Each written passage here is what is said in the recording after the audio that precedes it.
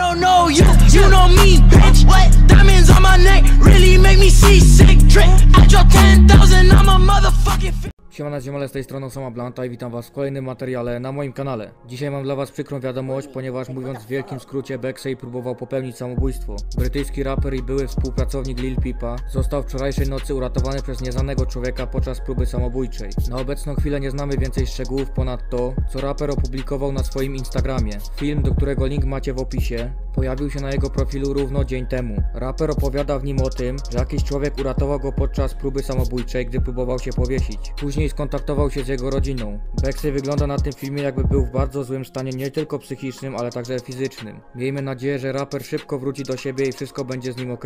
Wiadomo, że po takim wyczynie na pewno będzie pod stałą obserwacją. Bexley planowo ma przyjechać do Polski 11 września, by zagrać koncert w warszawskiej Hydrozagadce. Z racji tego, że ten filmik trwa aż minutę, postanowiłem, że puszczę go wam dopiero na końcu, a nie na początku, tak jak zawsze. W tym materiale z mojej strony to by było na tyle. W opisie macie linki do wszystkich materiałów. Siemano. I don't know if you guys can see this, but my whole face, the whole top of my head is like this. I think it's the the blood vessels stopping the stopping the blood circulation from.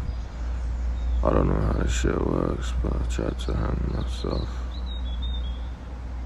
I tried really hard.